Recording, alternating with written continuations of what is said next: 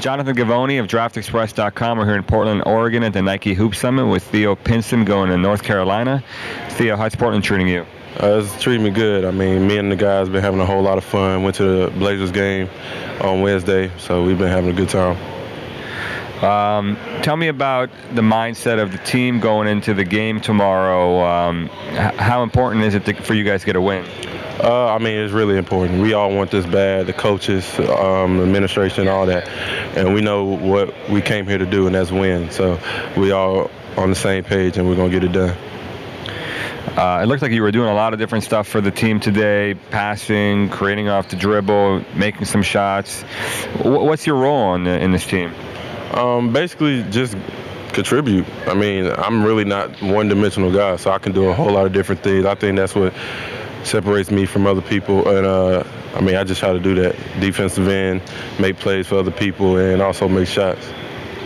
How good of a shooter are you right now? I know that was kind of considered a weakness of yours earlier earlier in your career. Is that something you've been working on? Yeah, I've been in the gym countless hours with Coach Gatlin, my high school coach, great shooter. So we've been getting a whole lot of shots up, and uh, just been working on it.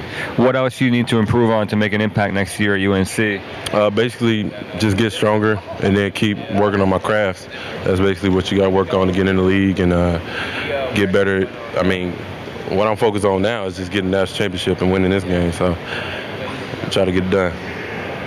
Tell me about your previous USA basketball experience. Um, uh, the time I played my first year, U16, and made the team. Uh, won gold medal. That was a great time. U17 didn't make it. Uh, just fuel to the fire. I mean, I end up having the best summer of my career after not making it because it was just a reality check. So I came back, played well, um, went to the mini camp for uh, Hoop Summit and played real well and made the team, got here. So, I mean, just basically just keep working and stuff pay off. Why do you think this team has struggled so much the last couple years, um, losing three out of the last four? Um, I think the difference between our class and the previous years, we I think we know each other more than other teams did. I mean, they know each other, but they didn't interact with each other like we do. Um, we've been at all these camps, especially with the mini camp we had, that got us together a little bit to see what we were going to do and uh, if we make the team, how we're going to run things. So I think that helped out a lot. Cool. Thanks so much, Theo. Best of luck.